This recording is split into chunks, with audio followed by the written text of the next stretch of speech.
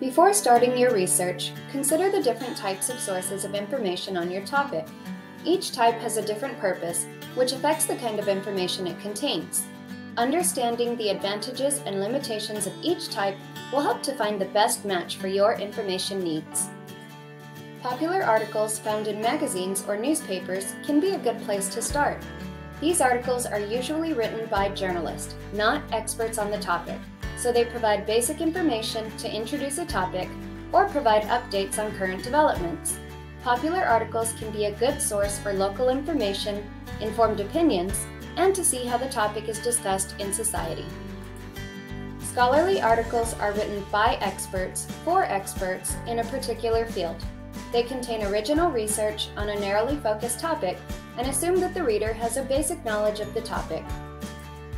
These articles are heavily cited with a full list of references and are published after a peer review process in which experts evaluate the article for quality and accuracy.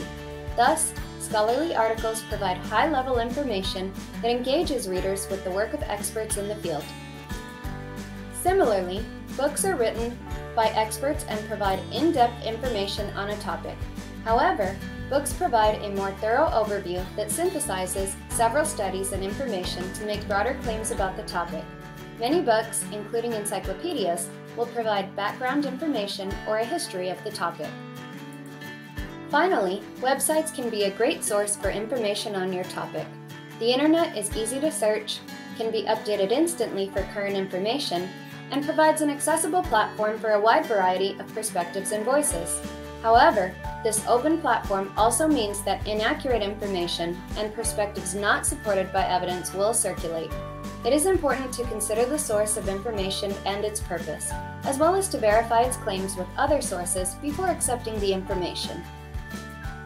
With so much information available, it is important to select the best type of source to match your research needs. Find more quick tips to help your research in our Research Minute series.